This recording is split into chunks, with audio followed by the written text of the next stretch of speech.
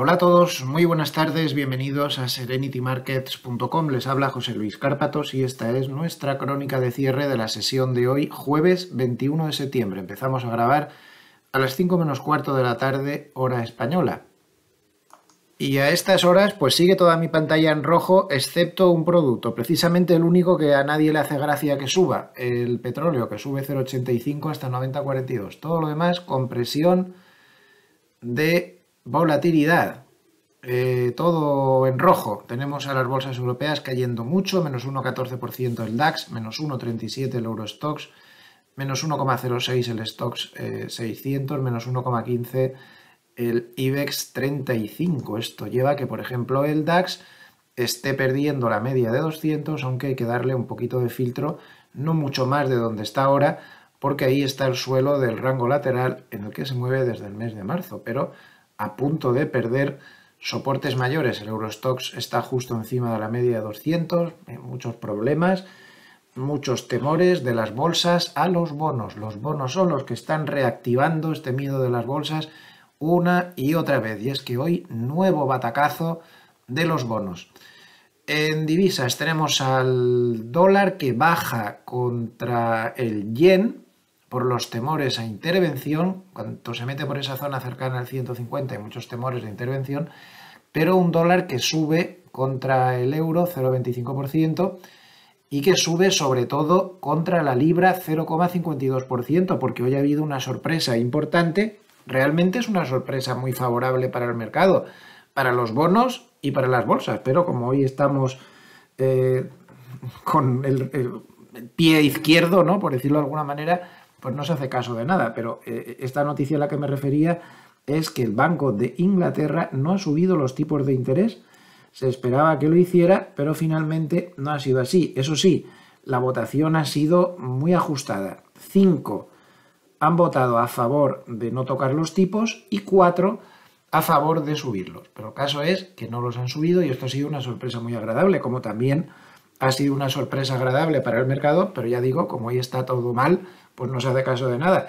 El hecho de que el Banco Central Suizo tampoco haya subido tipos, 1,75% estable, cuando se esperaba que subiera al 2%. Hay que recordar que aquí en Suiza sí están en, objetivos de inflación del 2%, no, no está, nunca ha llegado a la inflación estar peligrosa como ha estado en el resto de Europa. En cierta manera, pues es comprensible. Eso sí, ha habido muchas declaraciones de miembros del Banco Central Europeo que están bastante divididos. Nigel ha dicho que la inflación no para de subir y que no le gusta. Kazaks ha dicho que la energía está subiendo los riesgos de inflación. Pero por el otro lado, tenemos declaraciones de Sturnaras que ha dicho que el próximo movimiento del BCE va a ser a la baja, que ya no va a haber más movimientos al alza. O del, de NOT, que NOT es uno de los duros es uno de los duros que, sin embargo, ha dicho que no espera que haya una subida de tipos en la próxima reunión. Y por cierto, que hablando de todo esto, pues tenemos también que destacar que VS ha dicho que el BCE no va a subir más los tipos y que empezará a bajarlos a partir de junio del 2024 a ritmo de 25 puntos básicos de caída por trimestre. Como ven, no son tan malas noticias. Hasta aquí no son tan malas noticias para tanto nervio y tanta historia. Los bonos, eh, bueno, perdón, el Bitcoin antes menos 2,11 hasta 26.559 y los, bonos fatal, ¿no? levantan cabezas un palo tras otro y atención al lechugazo que se están metiendo los bonos americanos con un menos 0,69% el, el futuro del bono americano a 10 años, que en el mínimo del día, ahora está muy por encima del mínimo del día, como podemos ver, ha llegado a tocar, ha llegado a rozar el 4,5% de rentabilidad. Ahí hay una resistencia. Vamos a ver qué pasa. Si también rompe el 4,5, ahora acaba de romper una, la, resistencia que tenía en 4,36, 4,37%. Siguiente resistencia en 4,5 y si no se para ahí, se para en 5. Un nivel donde es muy poco probable romper, ahí se puede pasar muchísimo tiempo ya sin pasar, pero ojo, porque está rompiendo.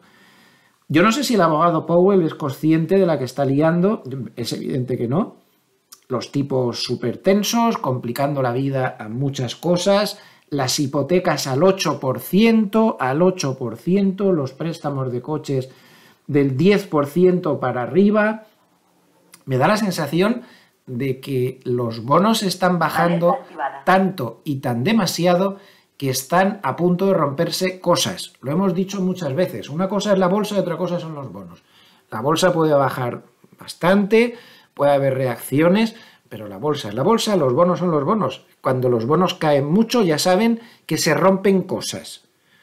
Eh, les recuerdo la crisis de los bancos regionales, les recuerdo la que se lió eh, con, en Inglaterra con caídas también. Así, están bajando demasiado los bonos, demasiado rápido, es la mayor bajada de la historia y esto hay que notárselo al mérito, entre comillas, del abogado Powell y, sus amigos, pelotas y demás que tiene ahí en la Reserva Federal. La, a mí, yo de verdad, perdonen que sea tan duro, pero es que me parece que los bancos centrales, BCE y, la Reserva Federal, tienen un nivel de calidad profesional muy deficiente, muy deficientes, que no ven nada, son capaces de ver un palmo más allá de sus narices. Bueno, pues con tanto miedo, tanto miedo que están metiendo, pues aquí tienen a los bonos, vamos a ver cómo arreglan esto. Están a punto de empezar a romperse cosas. El mercado de bonos es muy delicado, puede poner en peligro a los bancos, aseguradoras, eh, multitud de, fondos, multitud de cosas, puede poner en peligro hasta el propio equilibrio del Estado, no sé si el abogado Powell es consciente de eso, eh, porque eh, estamos hablando de un Estado que en las últimas 48 horas ha incrementado su deuda en 47 mil millones de dólares y que todo eso hay que pagarlo y lo está teniendo que pagar al tropecientos por cien de interés. A ver cuánto aguanta Estados Unidos esa máquina de gastar dinero eh, con este panorama y con los tipos de interés cada vez más tensos gracias a los comentarios que hace un día sí y otro también la Reserva Federal. Desde luego que Estados Unidos tiene un problema de despilfarro como no le ponga el límite y no parece que nadie se lo vaya a poner, pues a ver qué pasa. De momento, próximo cierre del gobierno porque siguen sin ponerse de acuerdo demócratas y republicanos. Hoy comentaba mi buen amigo Héctor Chamizo y con razón que hay muchos analistas que recuerdan que el gobierno es el que publica los datos. Así que una de dos, si cierran el gobierno o nos quedamos sin datos macro o los datos macro que den van a ser eh, menos fiables que ver a la pasionaria misa de once. O sea, cuidado, cuidado. Pero bueno, es lo que hay. Y venga a despilfarrar y venga a incrementar la deuda y luego, claro, te ves que el dólar es el valor refugio mundial, pues si ese es el valor refugio, pues que Dios nos coja confesados. Yo no opino igual, a mí no me parece ningún valor refugio, el dólar. Ni el dólar, ni el euro, ni ninguna moneda absolutamente fiduciaria como son estos casos. Eh, Wall Street, pues fatal, fatal porque se le está juntando el hambre con las ganas de comer. Se le está juntando este palo tras palo que están recibiendo los bonos, ya muy exagerado, la sobreventa es absolutamente brutal. El día que se empiece aquí a cerrar cortos, vamos a ver subidas en V a muchísima velocidad, por el momento no se sabe eso cuándo va a llegar, la tendencia sigue siendo bajista, y además se junta con lo que ya sabíamos y advertimos hasta la saciedad.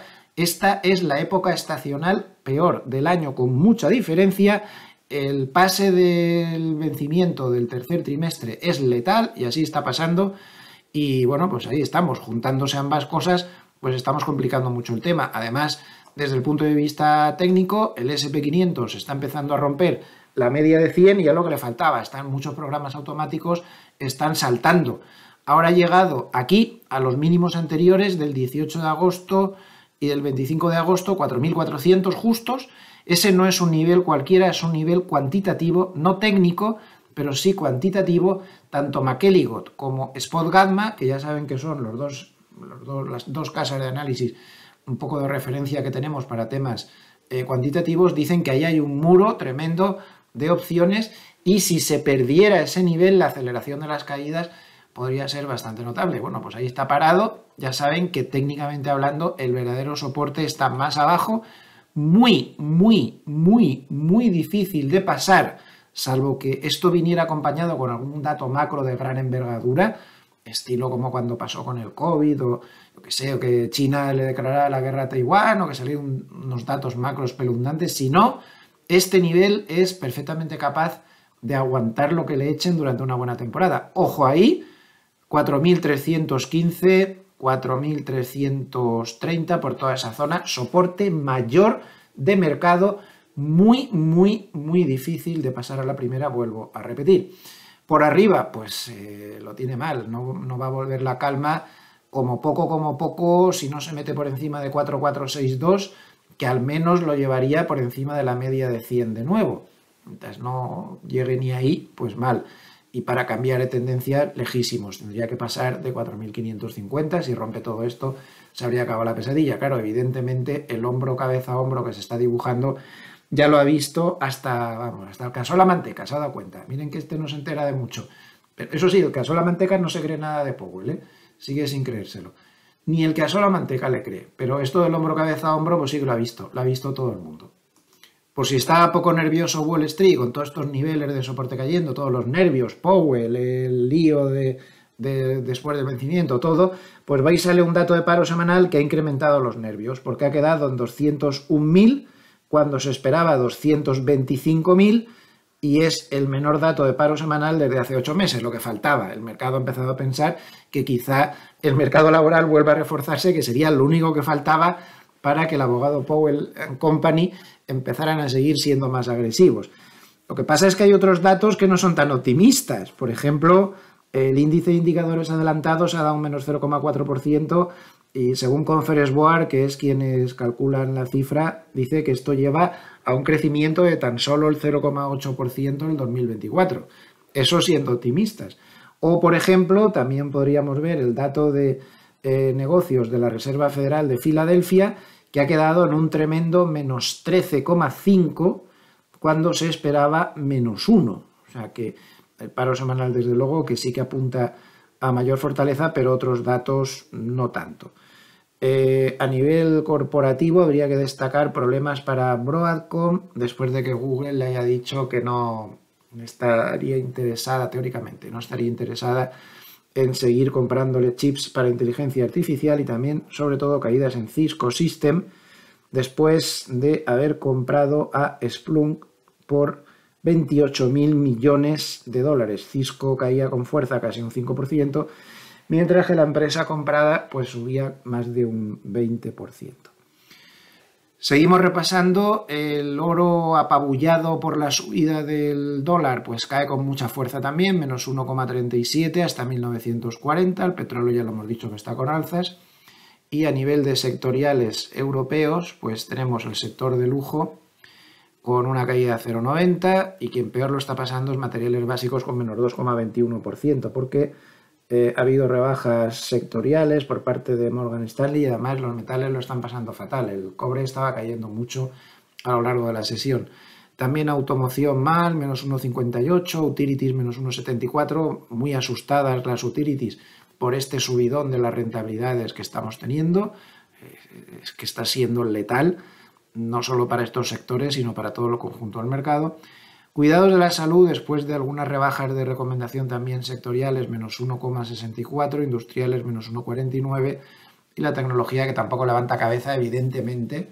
La tecnología poco tiene que hacer con estos tipos de interés tan tensos y tan altos. El tecnológico europeo baja 0,97 y el Nasdaq, como ya hemos dicho, pues baja menos 1,22%. Tienen todos los datos. Si les ha gustado este vídeo, les agradecería mucho un like o que se suscriban al canal si aún no lo han hecho a nivel de vídeos personales.